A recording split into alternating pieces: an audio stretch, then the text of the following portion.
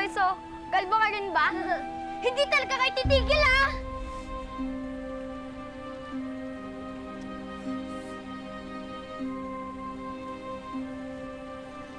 Ano? Ha? Lalapit pa kayo? Ano? Ha? Ano? Hmm? Hmm? Ikaw, ha? Tara na nga. Doon na tayo maglaro. Kalbo! Kalbo!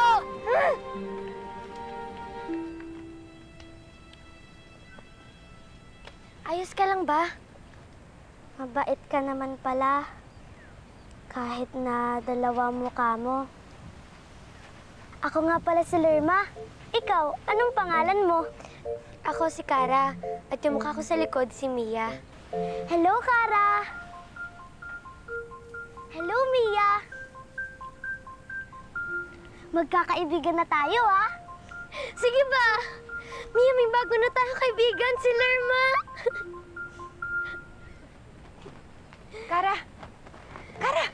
Kara, ano ginagawa mo dito? Umuwi ka na. May sandali, may bago na po kami kaibigan ni Mia. Kayo ni Mia? Opo, si Lerma po. May leukemia po siya, kaya nakabalot din po ang ulo niya. Alam po niya yung tungkol kay Mia at tanggap po niya kami.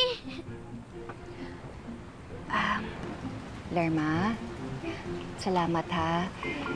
Pero sana huwag mo nalang ipagsabi sa ibang tao yung tungkol kay Kara tsaka kay Mia. Opo, promise po. Cross my heart and hope to die. Ay, sorry po. Hindi po pala totoo yun, Lord. Bigyan niyo pa po ako ng mahabang buhay, Lord.